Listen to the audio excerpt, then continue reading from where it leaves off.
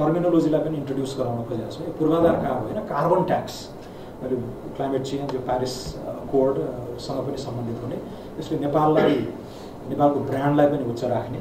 यो क्लाइमेट चेन्जको एजेन्डामा नेपाल चाहिँ अग्रणी भूमिका यो कार्बन उत्सर्जन गर्ने वस्तु र सेवाहरूमा लगाइने करबाट यसलाई अलिकति विस्तारित गर्न सक्ने स्कोप पनि हामीले राखेका छौँ। बजेटमा अहिले त डिजल पेट्रोलमा केरोसिनमा मात्र छ। कार्बन उत्सर्जन गर्ने कुनै पनि गुड्स एन्ड सर्भिसेसमा ट्याक्स लगाउन मिल्ने गरेर त्यो कार्बन ट्याक्स नै यसको प्रमुख स्रोत हुने देखिन्छ। अहिले नै बाह्र चौध अरब त्यो उठिसकेका छ। यसलाई नियमित ग्रोथ एकदम मोडेस्ट ग्रोथ टेन पर्सेन्टको ग्रोथ राख्दा पनि एक सय पचास एक सय साठी अर्ब त अर्को आठ दस वर्षमा त्यो हुने देखिन्छ। दोस्रो नेपाल विद्युत प्राधिकरण आफै पनि अब उसले आफूले लगानी गरेका आयोजनाहरूबाट जो फिर्ता हुन्छ रकम अपर तामाकोसी लगायत त्योबाट पनि यसमा रिइन्भेस्ट गर्न सक्ने कर्मचारी सञ्चय कोष पनि एउटा अब ठुलो इन्स्टिट्युसनल इन्भेस्टर हो नेपालको हकमा।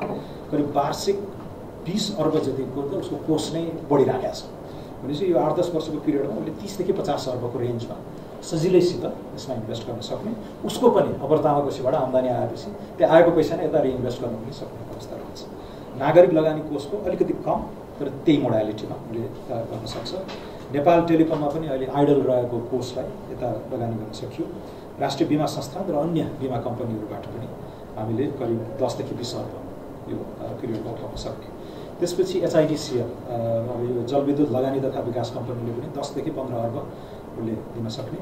र अप्पर तामाकोसी कम्पनी आफैमा पनि अब सक्षम भएर आउँछ। अब दस महिनामा यो प्रडक्सनमा जान्छ। यसले पनि लगानी गर्न सक्ने।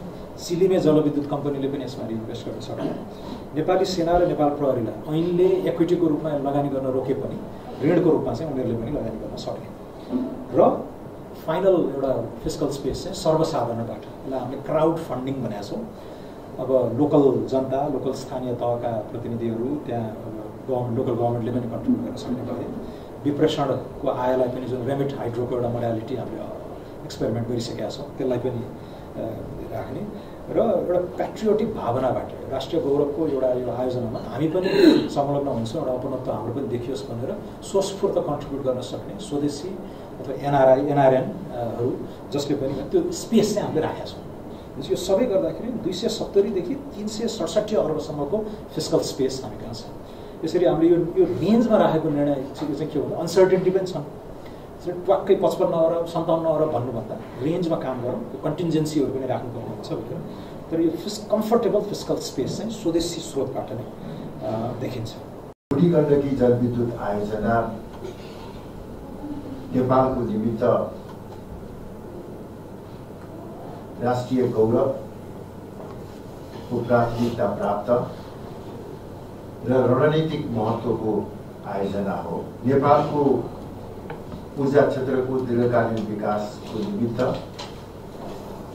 जलाशययुक्त आयोजना अपरिहार्य छ भन्ने बारेमा विगत लामो समयदेखि चर्चा भइरहेको भए तापनि हामीले जलाशययुक्त आयोजना निर्माण कार्य अगाडि बढाउन सकिराखेका थिएनौँ।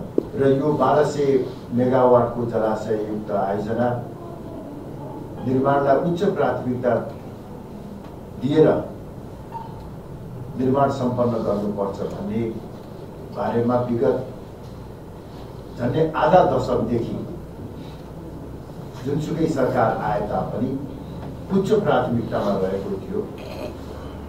र यही क्रममा वर्तमान सरकारले समेत यो आयोजनालाई स्वदेशी लगानी र प्रविधिबाटै निर्माण गर्नु उपयुक्त हुन्छ।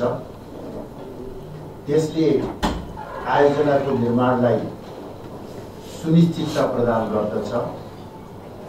आयोजनाको निर्माण कार्यमा देखिन सक्ने नकारात्मक पक्षीहरूको न्यूनीकरण हुन सक्छ।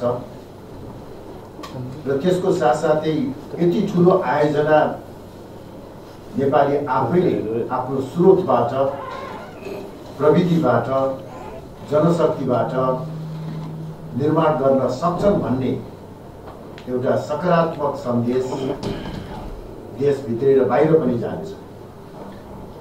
यही वास्तविकतालाई दृष्टिगत गरेर सरकारले यो आयोजना स्वदेशी लगानी र प्रविधिको आधारमा सञ्चालन गर्ने निर्णय गरेको हो।